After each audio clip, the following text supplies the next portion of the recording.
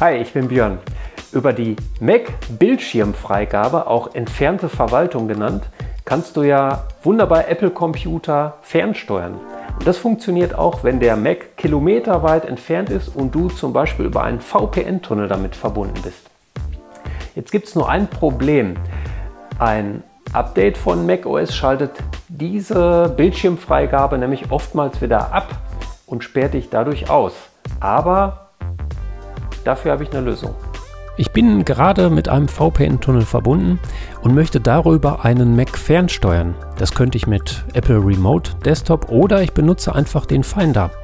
Aber auf dem entfernten Mac hat ein Update die Bildschirmfreigabe deaktiviert und deshalb bekomme ich eine Fehlermeldung.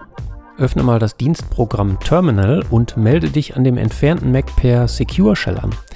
Das klappt allerdings nur, wenn dort die entfernte Anmeldung eingeschaltet ist. Dann kopierst du diesen Befehl ins Terminal, den du auch unten in der Videobeschreibung findest.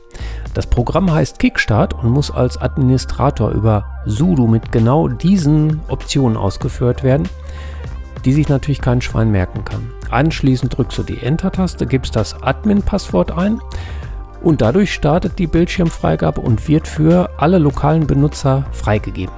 So, noch ein letzter Test. Und jetzt klappt auch die entfernte Verwaltung. Ich möchte aber die Bildschirmfreigabe wieder einschränken und nur Administratoren den Zugriff darauf erlauben, also nicht normalen Benutzern. Und das geht am einfachsten über die Systemeinstellung unter Freigaben, ähm, entfernte Verwaltung und dann schmeiße ich alle unerwünschten Benutzer aus dieser Liste raus. Hat das bei dir geklappt?